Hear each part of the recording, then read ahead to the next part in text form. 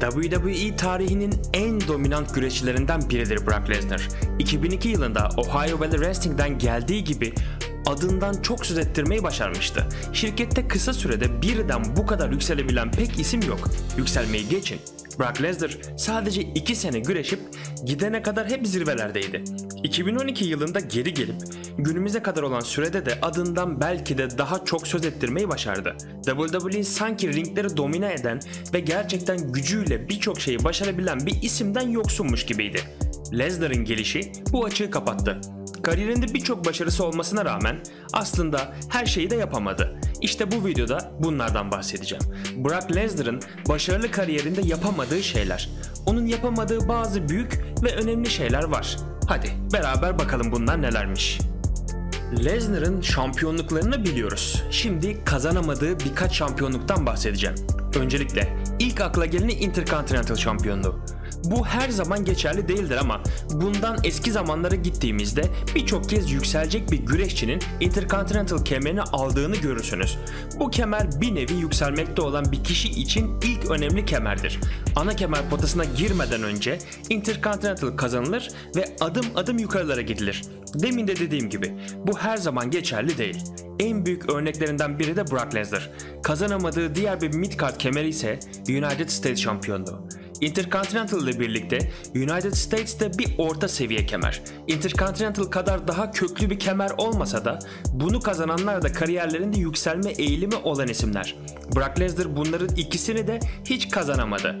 Bunu belki bir başarısızlık olarak algılayabilirsiniz ama aslında işler tam tersi. Nedeni ise Brock Lesnar mid-card seviye kemerleri değil, kariyerine geldiği ilk zamandan beri hep en tepeye oynadı. Geldikten çok kısa bir süre sonra The Rock'ı yenip WWE şampiyonu oldu.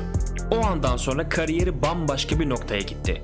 İşte tam da bu yüzden onun mid-card seviye kemerlerini kazanamamış olması aslında bir başarısızlık değil. Yine de kariyerinde eksik birkaç şeyden biriydi bunlar. Onun bir insan değil, adeta bir yaratık olduğunu hepimiz biliyoruz. Yine de kazanamadığı kemerlere şöyle bir baktığımızda tag team kemerlerini orada görebiliyorsunuz. Lesnar genel olarak hep solo takıldı. Tag team olaylarında pek göremedik. John Cena ve The Undertaker ile birkaç kez takım olarak görsek de hiçbir zaman gerçek manada bir tag team olarak mücadele edip kemere oynamadı. WWE'nin o dönemki altyapısı olan Ohio Valley Wrestling'de eskiden beri arkadaşı olan Shelton Benjamin ile beraber takım olmuşlukları var. Bu da aslına bakarsanız çok olağan bir şey. Lesnar'ın profesyonel güreşe başlamasına dostu Shelton Benjamin vesile olmuştu. Tag team kemerlerini almayı geçin. Lesnar kariyerinde hiç tag team kemer maçına bile çıkmadı. WWE solo takılan güreşçileri dönem dönem tag team kemer maçlarına sokar. Kazandırmasalar da illa görünürler. Lesnar bunların dışında kalıyor. Kariyerinde hiç tag team kemer maçı yok. WWE kariyerinde çıktığı birçok maçta hep farklı farklı türler gördük. Peki şöyle bir baktığınızda Lesnar'ın hiçbir zaman bir Last Man Standing maçına çıkmadığını göreceksiniz. Kendi yapısı itibariyle birçok maça uygun bir isim. Özellikle dominantlığı ve güreş tarzı aslına bakarsanız tam bir Last Man Standing maçına uygun şekilde. Iron Man maçı gibi uzun süreli ve aktif maçlara da çıkan Lesnar'ın kariyerinde hiç Last Man Standing maçı olmaması şaşırtıcı. Hmm, ne dersiniz? İlerleyen zamanlarda gelip bize bu tür bir maçta performans sergiler mi acaba? Biraz ilginç bir konudan bahsedeceğim şimdi. Lesnar'ın WWE ve dış şirketlerde dünyanın birçok yerinde güreştiğini biliyor muydunuz? Bunların başında zaten kariyerinde önemli yeri olan New Japan Pro Wrestling var. Japonya dışında Avrupa'nın birçok ülkesinde de güreşti. Suudi Arabistan'ı da rahatlıkla sayabilirsiniz.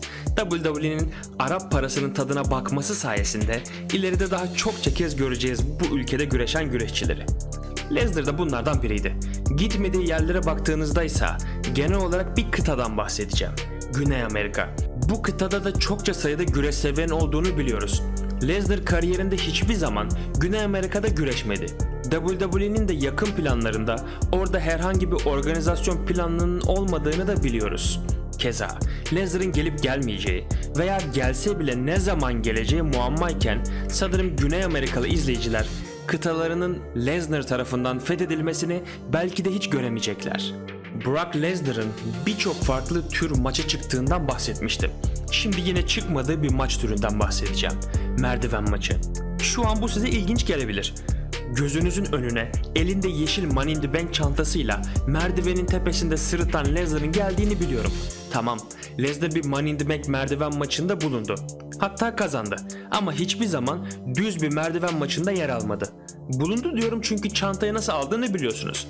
Şöyle bir düşündüğümde aslında onu bir birebir merdiven maçında izlemek gayet hoş olurdu. Düşünsenize Brock Lesnar gibi bir yaratığın elinde silah olarak kullanabileceği bir merdiven. Bu çok iyi olmayı geçin rakibi için ölümcül bile olabilirdi.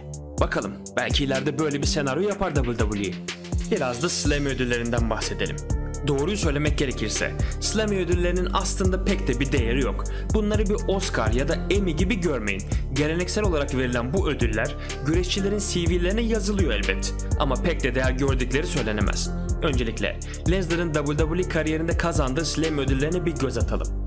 2014 yılında yılın en şoke edici anı ödülünü Undertaker'ın serisini bitirerek aldı.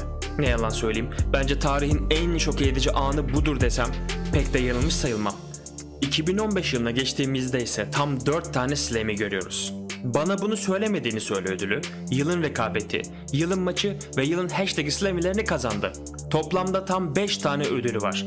Peki Slam'ilerin en önemlisi hangisi? Yılın süperstarı. O kadar çok şey yapmış birinin hiçbir sene yılın en iyi süperstarı ödülünü alamamış olması şaşırtıcı değil mi? Bence öyle. Lesnar'ın kariyerindeki eksiklerden biri de buydu. Lesnar gibi dominant bir güreşçinin en çok olması gerektiği maç türlerinden biri Elimination Chamber. Bu maç türünün konsepti zaten dominantlık ve acımasızlık üzerine. Günümüzdeki Chamber plastik gibi olup göze pek hitap etmese de geçmişteki Chamber'lar maçın ağırlığını hissettiriyordu. Brock Lesnar gibi bu maç türü için biçilmiş kaftan sayılabilecek birinin kariyerinde hiç Elimination Chamber maçı olmaması çok ilginç. Özellikle zaten bu bir kafes maçı onun UFC geçmişinden dolayı kafes dövüşü konseptinde ne kadar etkili olabileceği de ortada. Bunu Shayna Baszler'ın Chamber performansına bakıp basitçe görebilirsiniz. Lesnar'ı da bu maç türünde izlemek çok keyifli olurdu. Düşünsenize rakiplerini nasıl bir o yana bir bu yana vurduruyor. Maçın mutlak favorisi bile olabilirdi. Keşke şeytanın oyun alanında onu da görebilseydik. Lesnar WWE'de bulunduğu zamanlarda şirketin en tepe adamları veya main eventerlarının neredeyse çoğuyla maç yaptı. Ana kemer feudlarında da bulundu. The Rock, Hulk Hogan, Undertaker, Triple H, John Cena ve Roman Reigns gibi şirkette en tepe adam olabilmiş güreşçilerin hepsiyle maç yaptı. Yalnız şöyle bir düşünün kiminle maçı yok.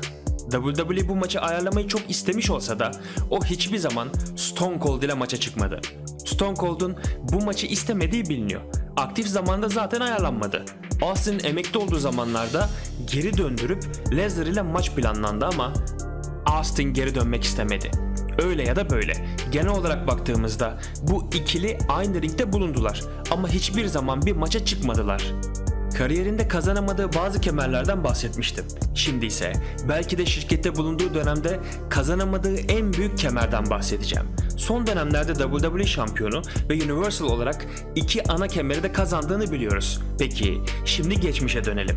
Onun bulunduğu ilk zamanlarda şirkette yine iki ana kemer vardı. Bunların ilki zaten kendisinin de genç yaşta kazandığı WWE kemeri. Diğeri ise World Heavyweight şampiyonluğu. Onun da olduğu zamanlarda bu kemer WCW'dan gelip WWE'nin bir diğer ana kemeri olmuştu. Farklı brandte olmasının ve WWE'den gitmesinin bunda payı büyük. Şirkette devam etseydi bu kemeri mutlaka alırdı. Bulunduğu brandin main eventerlarından biri olacağı için bu muhtemel. Günümüzde de artık World Heavyweight kemeri olmadığı için bir daha bu kemeri kazanma, kemere dokunma şansı olmayacak. İşte Brock Lesnar'ın kariyerinde eksik olan bazı şeyler bunlardı.